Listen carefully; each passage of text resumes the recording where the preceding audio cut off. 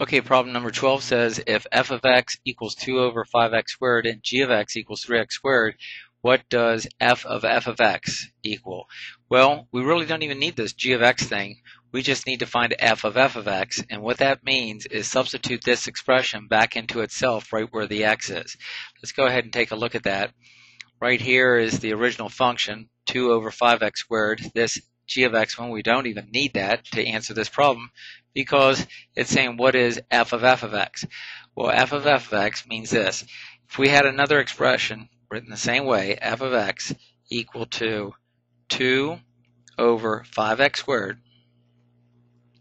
f of f of x means substitute this thing right in here for the x. So we would have 2 over 5 times what? Times x, but we're substituting in for x, the original function, 2 over 5x squared. So it's 2 over 5 times x, which is 2 over 5x squared, and then that gets squared. Don't forget the squared right there. So now we just need to simplify this. So this would be 2 over 5 times squaring this. 2 squared is 4, and 5x squared would be 25x to the fourth. The 5 simplifies with the 25, just gives me 5 down there, so we have 2 over 4, 2 over 4 over 5x to the fourth. 2 is 2 over 1 times the reciprocal of this, which is 5x to the fourth over 4. Finally, just simplify this a little bit. 2 goes into the 4 two times, so we end up with 5x to the fourth over 2, and that would be the answer to that problem. Okay, problem number 13 says, um, what is the sum of the solutions to this absolute value equation? Well, if you have an absolute value equation and the absolute value equals a positive number on the other side, then you'll get two equations. One equation comes from just dropping the absolute value. So we solve this equation, 3x minus 7 equals 6, and solve 3x minus 7 equals a negative 6. And those two solutions will be the solution to that absolute value equation. This one, to solve this, add 7 to both sides. You get 3x equals 13. Divide through by 3, you get 13 thirds. On this one, add 7, you get 3x equals 1. Divide by 3, you get 1 third. Then it says, what is the sum of the solutions? Well, sum means to add them, so we need to add the 13 thirds and the 1 third, and that gives us 14 thirds. And that would be the answer to the sum of those solutions. On problem number 14, let's take a look at that one. On 14, let me scroll up here it just, we need to simplify this. Well, this, I see divide here, so I don't need to worry about getting a common denominator, but what I have to do is invert this fraction and then multiply. So it needs to be times the 2x squared plus 7x minus 4 is going to be in the numerator, and the 6x plus 1 is in the denominator. So let's go ahead and do that problem. I have it flipped now to be multiplication. So I flipped that, like I just said. Now, this right here needs to be factored. The 6x squared, you could try 3x and 2x, but we want the factors of 4 to differ by 23, so that's a big difference. So I used 6x and x. Now they need to subtract to be minus 23. So if I use a minus 4 here and a positive 1 here, those are the factors of 4 that when I fact FOIL this thing back together, I'll get 1x minus 24x, which is a minus 23x. So that's the first one factor. This one, x squared minus 16, that's the difference of two squares, which factors into the sum and difference of their square roots. So x plus 4x minus 4. 2x squared plus 7x minus 4 is another trinomial that factors into, well, 2x squared breaks into 2x and x. Minus here means that the signs are different, one's plus and one minus.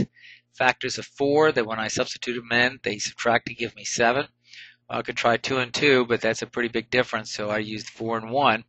And if I use the 4 here and the 1 here and check my inner and outer, that'll be a minus 1x, and this outer is a positive 8x, which gives me a positive 7x. So that one's factored. And this is just a binomial that's already as far down as it can go. Then at this point, just cross off terms on the top with terms that are identical to that on the bottom.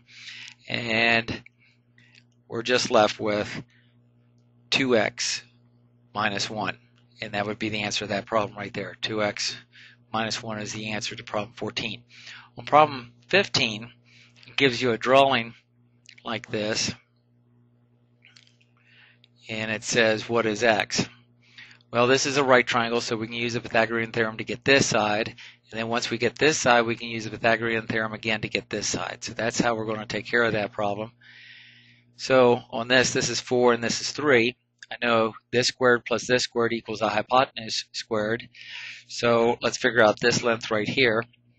Um, I'll say this equals, a, I'll just put h for hypotenuse squared. So 3 squared plus 4 squared, that's 9 plus 16 is 25. So 25 equals h squared. So therefore, take the square root of both sides, you get h equals 5. So this length right here is 5. Now use the Pythagorean theorem one more time to get this length. So 9 squared plus 5 squared has to equal, I don't know, this side right here. I'll call it uh, c squared. You can call it whatever you want, x or whatever. 9 squared is 81 plus 25 equals c squared. Well, 81 plus 25 is 106, so 106 equals c squared. Take the square root, so c equals the square root of 106. Now, the only thing you might ever have to do with something like this is break it uh, the square root down. What I mean by that is 106. Let me do this here. 106 is equal to 2 times uh, 53. And if 53 would break down again, maybe you might be able to pull something out of the square root. For example, what I mean is, let's say we had the square root of 8.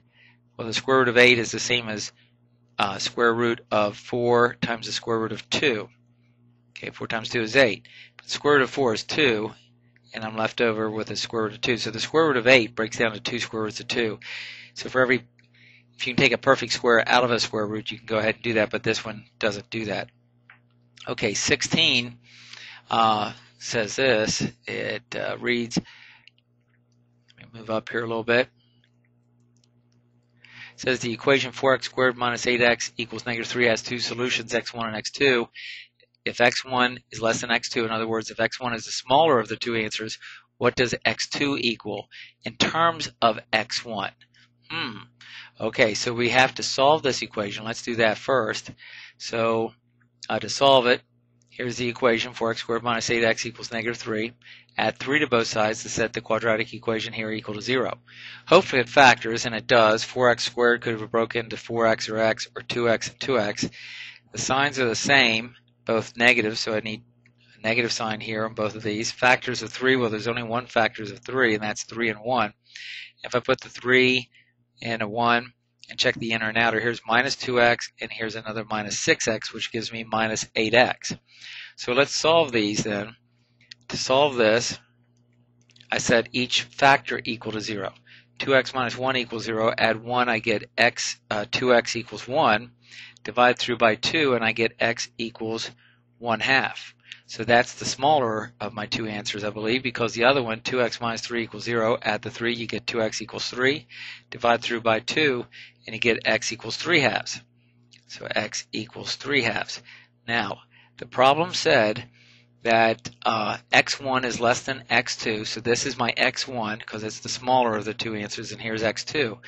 And it says, uh, what does x2 equal in terms of x1? Well, x2 is three times bigger than this. 3 halves is three times bigger than x1. So therefore, uh, we get uh, 3 times x1. So x2 is equal to 3 times x1. And that's what they're looking for on that type of problem right there. That's a tough problem. Okay, let's go to problem number 17. And I'll have to get another sheet of paper on that one. So let me get that.